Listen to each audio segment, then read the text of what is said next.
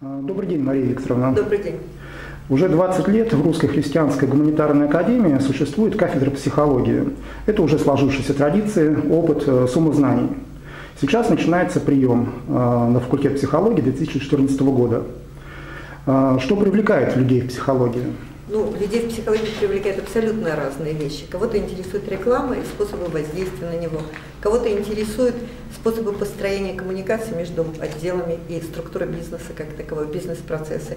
А Кого-то интересует желание понять себя и других людей. А Кого-то интересует помощь а, людям с ограниченными возможностями и просто помощь обыкновенным людям, которые попали в сложные ситуации, семейные, профессиональные ситуации здоровья. Да, спасибо. 20 лет – это большой срок существования э, факультета психологии. И не могу не спросить следующий вопрос. Чем уникальна программа факультета психологии в РХГА? Ну, уникальна, естественно, командой преподавателей, которые здесь работают.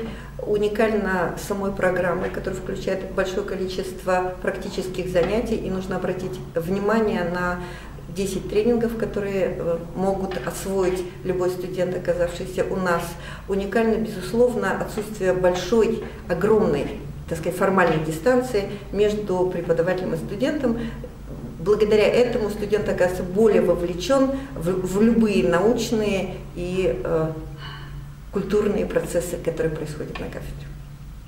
Э, Часто задают такой вопрос о формах обучения. Что предлагает э, факультет э, психологии? Ну, безусловно, это заочное, то есть это чаще всего это поступают школьники, но не всегда школьники, но чаще всего школьники, которые только что закончили школу. А, безусловно, заочная форма обучения, которая чаще всего интересует взрослых людей, и она давно у нас существует.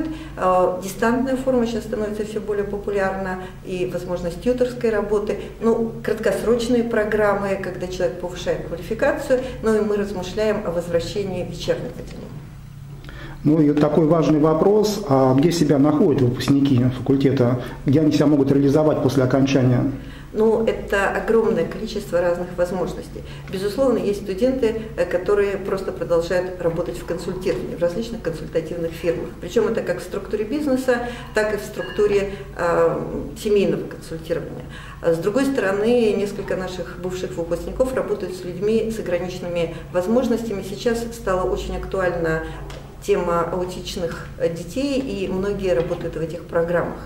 Безусловно, работают в школе, а, в детском саду, а, вот, то есть а, с людьми очень пожилыми, то есть в гериатрических центрах, то есть, и, конечно же, есть особо одаренные выпускники, которые работают в РХГА и преподают здесь различные дисциплины.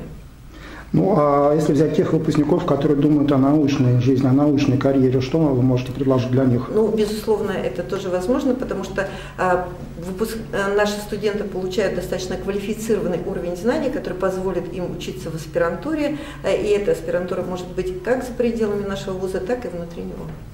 Спасибо.